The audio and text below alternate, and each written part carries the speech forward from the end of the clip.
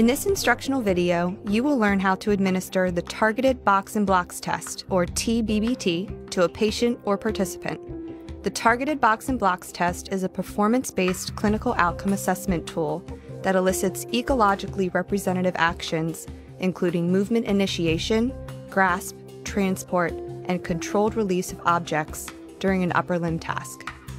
To administer this test to a patient or participant, you will need the following a stopwatch, the targeted box and blocks test inserts, the box and blocks test box, which is a wooden box with dimensions 53.7 by 25.4 by 8.5 centimeters, with 15.2 centimeter tall partition placed in the middle of the box, nine wooden blocks, numbered 1 through 9, two pieces of white paper, a table of standard height, and a chair with or without armrests.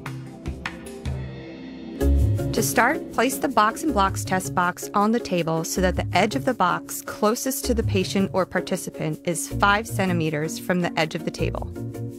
Then, place the partition in the middle of the box. Next, place one sheet of white paper within each side of the box and place the targeted box and blocks inserts on top of the paper. Using a black permanent marker, write the numbers 1 through 9 inside the target spaces, starting with the bottom row, innermost block, and working your way across the row.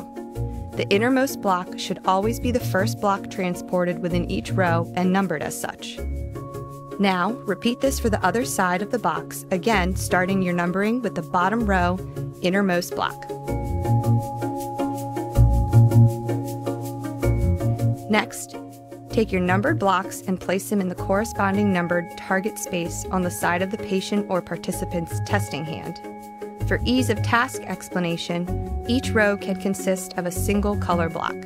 However, this is not a requirement. You are now ready to invite your patient or participant to sit or stand in a comfortable position at the table with the box in front of them. Be sure the center of the test box is aligned with the midline of the person's body. To ensure consistency in administration of the targeted box and blocks test, we encourage test administrators to use the detailed script provided in the instruction manual.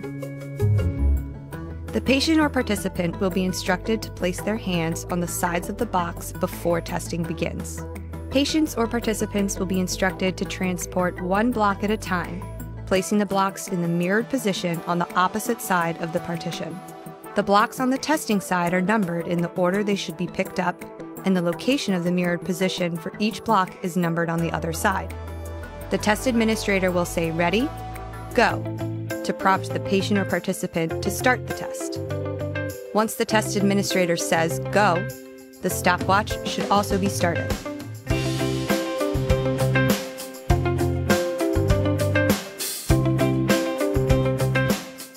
When the patient or participant releases the ninth block on the non testing side of the partition, stop the timer and record the time. In addition to the time it takes to transport all nine blocks, the number of unsuccessful block transports will be tracked. An unsuccessful transport is any block that is not within the target space, leaning against the target grid, or any block that was dropped during the task. A transport is deemed successful if the block is placed within the designated space in the target grid. The block must be placed flat in the target space.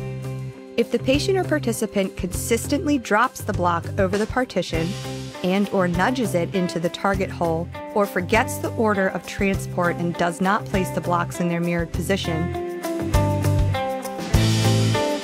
stop and reset the test, explain the instructions again, and restart the test. Thank you for tuning into this instructional video.